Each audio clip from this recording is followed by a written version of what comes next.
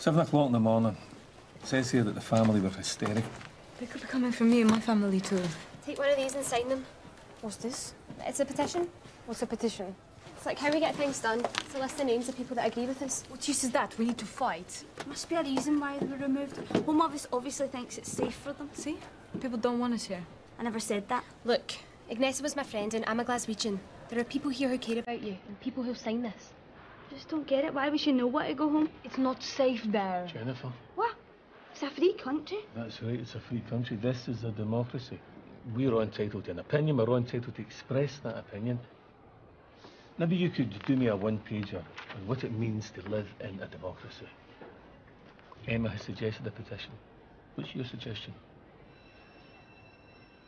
What's your suggestion? Rosa? Amal? Evelina? Anybody? Anybody? Okay, so we're all agreed. Give me that.